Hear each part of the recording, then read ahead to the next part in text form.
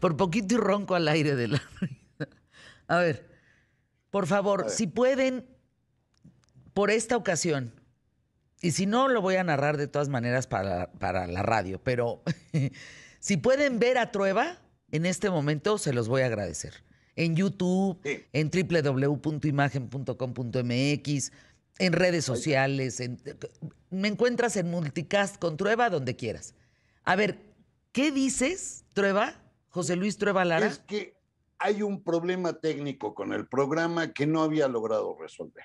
A ver. Esto del sonido son tarugadas, esto de la imagen son otras tarugadas. Ajá. Desde que salimos al aire, aquí en la mera frente donde va el cuerno de unicornio, la lámpara me da un reflejo. Entonces se me ve aquí una mancha blanca mero al frente, como si fuera un cuerno de unicornio. Sí, sí, tal cual. o sea, tiene un foco en la pelona. En la pelona, exacto. Entonces, y, entonces... ¿cómo podemos? Ah, pues ya descubrí la, cómo técnicamente se, se, soluciona esto. A ver. Te pones las manos a, a, los costados de la pelona y subes el cuero para que te quede como charpey. ya una vez que está como charpey, mira, ya no refleja. Ahora, el problema es que no puedo hablar así porque necesito las manos, yo meneo las manos. Entonces, prometo que la semana que entra tendremos una solución un poco más sensata ¿Sabes qué? al problema. Agarra un diurex y te lo pones del lado izquierdo, te lo pasas por encima y, todo lo arrugado lo detienes. Como los tapes de los, de los senos, ¿ya sabes? Ándale, así me los jalo. Exacto, te jalas. acá. Así como nosotras nos jalamos con los tapes, los senos, y nos los levantamos. Yo me jalo las arrugas. Tú te jalas las arrugas y entonces el foco ya no se te ve. Y sí, quedas ah, pues como Sharpay, pero para siempre. O sea, para durante las dos horas del programa. Pero ¿cuál es el problema? Todo sea por la calidad de la imagen. o sea, un, negocio que se llama imagen no puede tener una mala imagen. Cabeza. No puede. puede darse un negocio, fíjense nada más, Gallo o Legario, ahí te va. Un, un negocio que se llama imagen no puede tener una mala imagen. Carajo, claro. eso, es, sabiduría pura, mano. ¿Me entiendes? Sí, no, sí, una vez dije una de esas y por poco y me nombran rector de la universidad. Válgame. bueno, por favor, las serenatas. Antes que nada, ¿tú ah, cuándo has llevado serenata? ¿Cuántas veces? Como hombre. ¿Te gusta llevar serenata? ¿Te, ¿No te gusta? Conquistaste a la Pati con serenata. A ver, cuéntanos tú, tu, tu vida de hombre con serenata. No, no, yo fíjate que soy malísimo para las serenatas. Nunca he llevado serenata. Pero te puedo contar la serenata más bonita que estuve a punto de participar en ella. Pero no se nos hizo. Un amigo queridísimo que se llama Ricardo Kirchner, ese sí era de serenata, ese a la menor provocación le llevaba serenata a Silvia, su esposa, y en alguna ocasión pues, estábamos platicando que le quería llevar la serenata. O sea, no, no, no una serenata así rascuachona, no, no, no, no, no. Esas que pasan a la historia. Y yo pues me llevaba muy bien con Armando Manzanero. Y en esa noche, después de un incontable número de whiskies, llegamos a la conclusión que Armando iba a dar la serenata. Por cierto, él empezó su carrera dando serenatas. Esto es ah. cierto. Con todo y piano lo cargaban a. A ver, cuéntanos eso, por favor, es una gran historia de Manzanero. Fíjate que de Manzanero, él era, pues era un músico, pues, todavía lejísimos de la fama, allá en Mérida. Y entonces, pues tocaba ahí donde le daban chance de echarse un palomazo y su negocio era tener pues, las serenatas. Y trepaban el piano en una troca, en una camionetota, en una pick-up, algo así, o en un camioncín, lo llevaban a la, a la, a la calle, bajaban el, el, trinche piano que ha de pesar un chorro, y Armando se echaba ahí una serenata, todavía sin sus canciones. Y lo que él cantaba, sobre todo, era, era trova yucateca cantaba cosas, por supuesto, como acabas de comentar, de, de Guti Cárdenas, cantaba también cosas del Bate López Méndez, del que se lo echa, que era un, también era un compositor bastante bueno, un poco cursilón, pero, pero, pero era, era, era también un gran compositor y muchos años vivió de las serenatas. Él prácticamente deja de darlas, ya como algo así medio especial, constante más bien, hasta que llega a la Ciudad de México. Y lo que sí es un hecho, esto no me lo contó él, me lo contó Laura Blum, que era pues, su mano derecha, pues me contaba que Armando a todas sus chamaconas, que no fueron pocas, era un galanazo incontenible, Armando. Eh, a todas se las ligó a fuerza de serenatas. Vamos, eran tan buenas las serenatas como aquella heroica que le llevó Agustín Lara a María Félix. A ver, cuéntanos. Fíjate, cuando Agustín Lara le estaba echando los canes a María Félix, digo, eso era como de película de, de Batman, no sé si te acuerdas, la de Jack Nicholson, cuando sale Jack Nicholson, que le dice, es que somos como la bella y la bestia y Agustín Lara decía, claro, yo soy la bella. Entonces, este, entonces, este, pues le llevó a una vez serenata a María Félix, no solo con su piano, sino con toda su orquesta. No, imagínate. Y la mendiga de María, esto quiero que quede claro, la mendiga de María ni la luz le prendió. ¿Cómo? ¿Lo mandó al recuerdo? Sí, lo mandó al recuerdo. Digo, a mí, pues no, a mí no me trae serenata, pero imagínate que llega Agustín Lara, piano, orquesta, y ahí la pone en toda tu calle, claro. Y la señora no se digna abrir la, la... ¿Por qué no habrá abierto tú? Pues ya ves cómo era María. María tenía una manera muy rara de entender al mundo. ¿No te acuerdas cómo decía de Jorge Negrete? ¿Qué decía? Ella no decía el día que conocí a Jorge ella decía, el día que Jorge me conoció. Ándale. Es decir, cuando ella era, pues nadie, era solamente una mujer bellísima y una mala actriz, y llega a actuar en el Peñón de las Ánimas, pues en la figura mayor era, era Jorge Negrete, pues eso está mm, fuera de discusión. Y María contaba que, ella no lo conoció, sino que ella, él la conoció a ella. Era, era el mundo de María era muy, muy, muy, muy raro era, era un protagon, era, era la protagónica del universo. Entonces, pero sí le dio su descolón a, Agustín Lara de muy mala manera. Yo, yo, bueno, yo si fuera mujer, sí le aceptaba eso y hasta le daba sus besotes al flaco de oro, aunque estuviera charrasqueado. ya me imagino el maestro Trueba dándole sus besotes al flaco de oro. No, no, pero pone una peluca como de pastorcita, o sea, tiene que ser con peluca de... ¿Te acuerdas del coyote? cuando se pone la peluca de, de pastorcita, una de esas. Ahora, que fuera mujer. Por acá dice... Por acá dice Roberto que los altos de Jalisco, las serenatas son diferentes. Muchos hombres del país viajan todos los domingos a San Miguel el Alto, en Jalisco, para participar en la tradicional serenata que consiste en que las mujeres solteras caminen alrededor de la plaza y los hombres hacen una especie de rueda y de ahí les arrojan confeti, les obsequian una rosa. Si la mujer acepta la flor, entonces pueden tener una primera cita.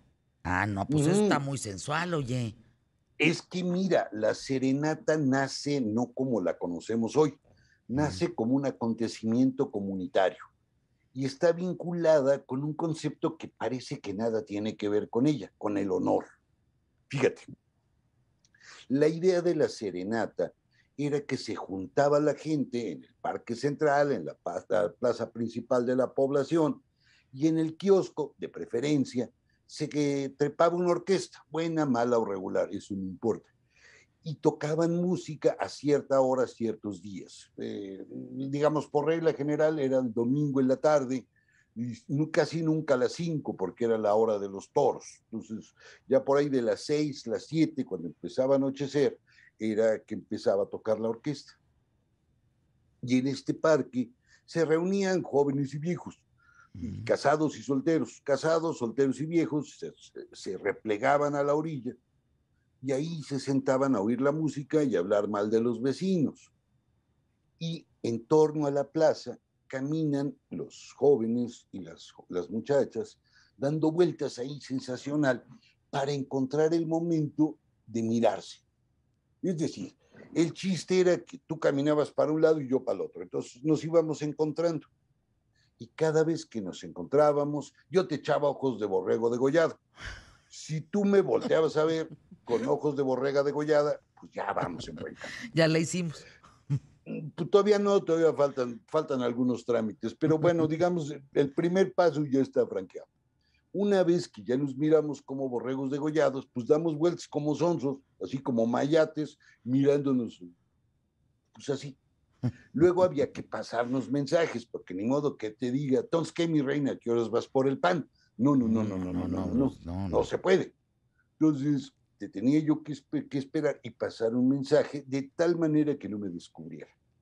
Mira, hay un sistema que a mí me viene bien, con el que me he ganado la ronquera que hoy traigo le sacaban el tabaco a un cigarro.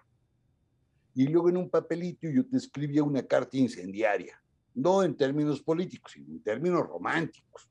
Le hacía churrito, la metía con mucho cuidado en el cigarro y cuando ibas pasando junto a mí, así como que no quiere la cosa, te rozaba la mano y tú te ponías a usada y la pescabas el cigarro. Ya te lo guardabas en algún lugar el cigarro, como las mujeres en aquella época fumaban como chacuacos, pues no había mucho problema. Y entonces, llegando a tu casa, la abrías, la leías y entonces ya, paz, caías. Y luego entablábamos conversaciones y empezábamos con una palabra que aprendí en León la semana pasada. ¿Cuál? Echar reja. Ay, hay que echar reja. Eso está bien bonito. Está bien bonito. echar reja. Poníamos echar reja. Es decir, yo caminaba como desaforado enfrente de tu casa hasta que se iban a acostar todos los que te cuidaban y ya al final me acercaba a tu ventana o al portón y tú te asomabas y ahí nos poníamos a platicar como son. Claro, debido a los barrotes, pues era poco el contacto, pero el momento de llevarte música depende de que el honor bajara. Pues dicen que antes de continuar con las serenatas y echar novio en la reja y en fin, que por favor, maestro, tu curso. ¿Vas a dar curso de qué? Sobre historia de la cocina, historia del pipilín en México, historia de por cómo nos hemos matado el hambre y a veces ni eso logramos. Y es de mm. fácil. Empieza en agosto, el primer sábado de agosto y dura todos los sábados de agosto. Y el correo está re fácil. Apréndanselo, no da trabajo. Taller arroba gmail.com. Facilísimo. Sí, con gmail.com y llegas. Entonces, taller arroba gmail.com y el curso empieza el 6 de agosto. Exacto. Y va a ser el 6, el 13, 20 y 27. Sale, oye, qué bien, ahora sí me apantallaste, sabes más que yo. Sí, son esos cuatro sábados. Sí, exacto. Esos merengues son Okay. Y, entonces, si te escribimos a ese correo, eh, yo, a ver, Trueba, yo quiero ir a tu curso, yo quiero estar, porque es vía Zoom, ¿no? Entonces yo quiero, yo quiero tu curso. Y luego me mandas una pues cuenta donde te deposito o qué Exacto, te mando todos los datos, te mandan la cuenta, te mandan todo lo necesario y te van a regalar algo que nadie tiene. Una foto de Fabián, que es el que autografiada, por supuesto, que es el que se encarga de la cuenta.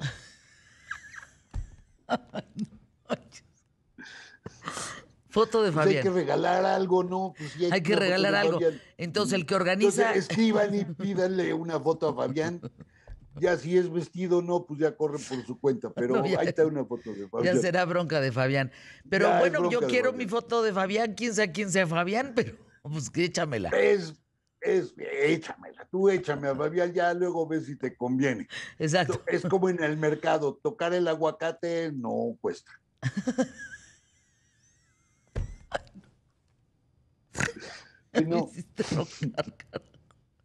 Mira, desde que te estás arrugando este, la, mollera, mano. ¿Qué es eso? Pero bueno, vamos por favor con las serenatas, si eres tan ah, amable. Bueno, entonces, ya para dar serenata, tiene que cambiar la moral. Es decir, la familia tiene que ser mucho más permisiva. Tiene que asumir que la muchacha pues, puede tener sus amores. Y entonces cambia mucho. Y las serenatas son justamente esto de ir a la ventana y cantarle a la chamaca. Es algo que surge en los años 20, 30 y 40 y va muy parejo con la historia del cine y con la historia del bolero.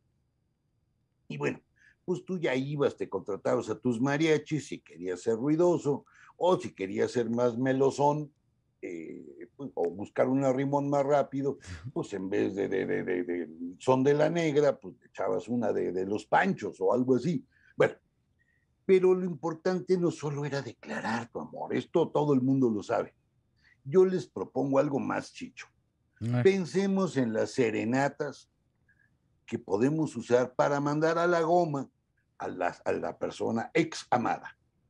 Es decir, siempre llevamos de yo te quiero, yo te amo y nos pasamos de mil usos. Normalmente tendríamos que tener un soundtrack dedicado al descolón. A ver, explícate, descolón, traduce. Sí, es decir. ¿La mandada a la fregada? Exactamente. por ah, ejemplo, yo ya veo que la exacto, yo veo que la Pati ya me va a mandar a la goma. Entonces, antes de que me mande a la goma, yo me salgo corriendo me voy, me traigo un mm. trío, me traigo unos mariachis, una marimba, lo que haya, pues.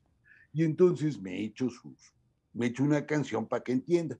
La más común y que ah. no vale la pena detenerse en ella es la chancla. Ay, la chancla, que, yo tiro, no la vuelvo a levantar. Esa es una buena serenata cuando mandas a, la corneta a alguien, fíjate. A alguien. Otra que es buena para mandar a la corneta, te vas porque yo quiero que te vayas, pero a la hora que yo quiera te detengo, porque yo soy tu dueño. Es tantito machista, pero mira. No importa, no importa, no importa, pues si lo que quieres es mandar el mensaje. Claro, y, aunque andas ardido ya, pero ahorita le pedí a Bit que nos pasara, si esto es posible, la canción ideal para mandar a alguien este, allá, ¿cómo se llama? Pues lejos, pues. Allá al rancho.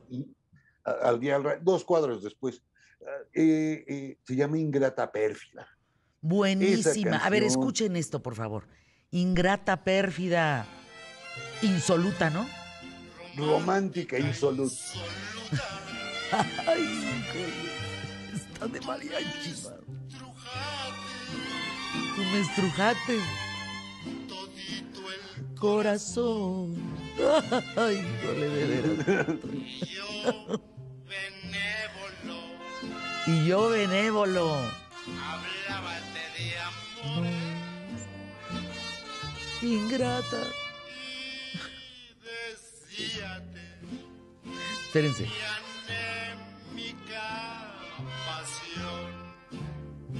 Ahí va, ahí va. Burlábate todita.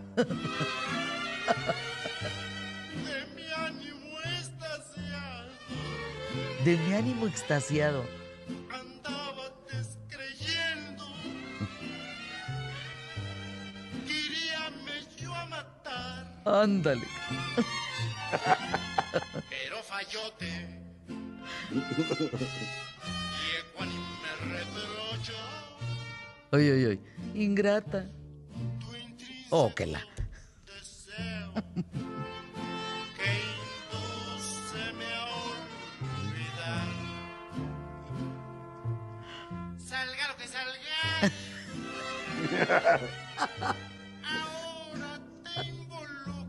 Qué maravilla de canción, no puede ser.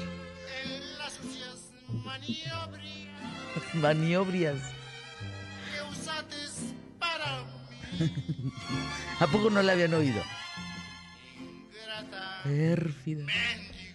Ah, que mendiga primero. Palabras no son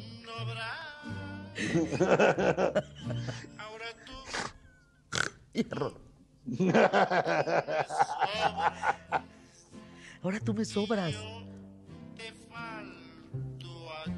No, hombre, ¿a qué hora dice ingrata pérfida, insoluta, hombre?